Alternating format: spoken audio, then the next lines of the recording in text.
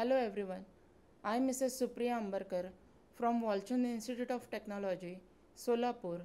Today we are going to cover a topic on communication protocols of RPC, its basics, events in RPC, the request protocol, request reply protocol, and request reply acknowledgement reply protocols.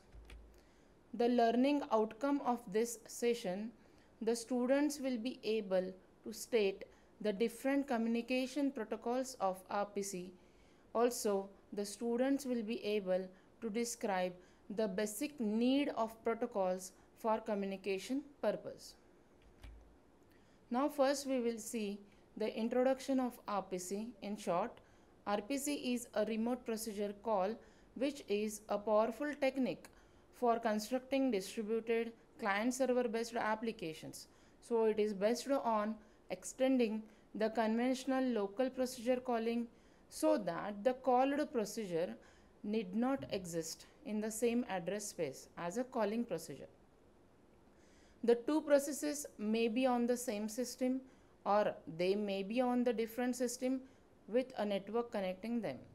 So the RPC is a protocol that one program can use to request a service from a program which is located in another computer on a network without having to understand the network's details.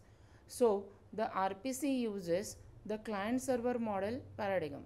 So here is a, this is an introduction. Now we will see the different events how it will be occurred in RPC. So this diagram shows us a client how the call has been made and how the server has given the reply. So here the client calls the client stub. The call is a local procedure call which parameters pushed on to the stack in the normal way. So then client stub packs the parameters into a message and makes a system call to send that message. The client's local operating system sends the message from the client machine to the server machine. The local operating system on the server machine passes the incoming packets to the server stub.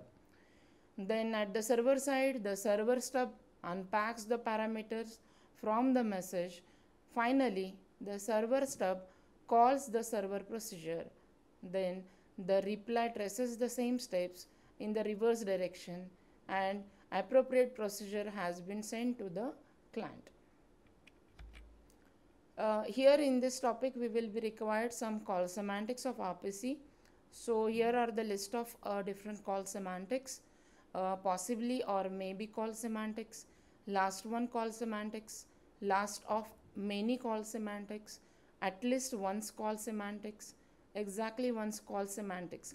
So these are the list we will be required for the further session. Now we will see the introduction of communication protocols. So basically protocols are the set of rules which defines the format or the standard in which communication should take place. So protocols are basically needed because it's important for the receiver to understand the sender. In computer uh, communication protocols also make sure the message gets to its destination properly in entirely and without distortion. So basically communication protocols are based on the needs of different systems. So different systems developed on the basis of remote procedure calls have a different interprocess communication requirements and so on. So protocols are simply rules for communication. So these are the introduction of communication protocols. Now we will see the different types of communication protocols. Here the three types are there. First the request protocol, third second the request reply protocol. And the third one request reply acknowledgement reply protocol. Next slide we will see the details. First we will see the request protocol. This protocol is also known as a R protocol it is used in RPC when a called procedure has nothing to return as a result of execution and the requirement of client confirmation about procedure executions is not needed at all. So, as there is a no acknowledgement or reply message is involved in this protocol. Only a single message is transmitted from client to server side. Client proceeds after the request message is sent as there is no reply message. So this protocol involves maybe call semantics and does not need retransmission of request messages. Uh, here the RPC that uses the R protocol is known as an asynchronous RPC which helps to improve the combined performance of the client and server. This is done because the client does not wait for a reply and server does not need to send a reply. So, for an asynchronous RPC, the RPC runtime does not retry a request in case of communication failures. Here in this diagram, we will see the working of R protocol.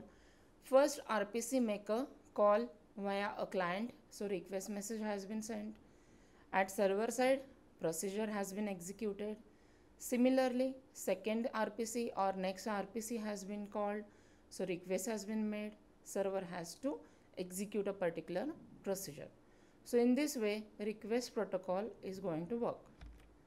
Now we will see the second protocol, the request reply protocol. This protocol is also known as RR protocol. It is useful for designing systems which involve simple RPCs. In a simple RPC, all the arguments and results fit in a single packet buffer while the call duration and intervals between calls are short. This protocol is based on the idea of using implicit acknowledgement to eliminate explicit acknowledgement messages. In this protocol, a server reply is considered as an acknowledgement for a client request and a subsequent call from a client is considered as an acknowledgement of a client's previous call. So timeout retired techniques is used with RR protocol for failure handlings. Retransmission of request message is done with there is no response. So RR protocol and timeout techniques provides at least once call semantics on if duplicate requests are not filtered out. Exactly once semantics are supported by servers using reply cache which store replies. So in this way the request reply protocol is work. In this diagram we are able to see the working of RR protocol. Here client and server side first RPC has made a request message procedure has been executed by server side reply message is there and in this reply also uh, server has to made a acknowledgement that the request message has been delivered successfully. So in this way, the acknowledgement we have to give in terms of the reply message. Then again the next RPC is going to work and so on. So this is an RR protocol. Now pause the video and write down your answer. In RPC, while a server is processing a call, the client is blocked until first option is unless the client sends an asynchronous request to the server. Second, unless the call processing is complete. Third, for the complete duration of the connection and none of the above. The answer is uh, in RPC while a server is processing the call, the client is blocked until and unless the client sends an asynchronous request to the server. Now third protocol we want to explain which is called as a request reply acknowledgement reply protocol. This protocol is also known as RRA protocol. The RR protocol implements exactly once semantics which requires storage of a lot of information in the server cache and can lead to loss of supplies that have not been delivered. So to overcome these limitations of RR protocol, uh, RRA protocol is used. Uh, here in this client acknowledge the receipt of reply message and server deletes the information from its cache only after it receives an acknowledgement from the client side.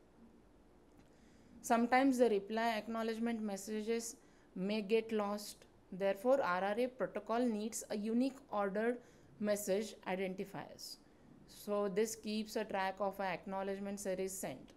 So this is an in terms of RRA protocol. Here in this diagram, the working of RRA protocol is held. So first RPC has made a call. So request message has been sent by client to the server.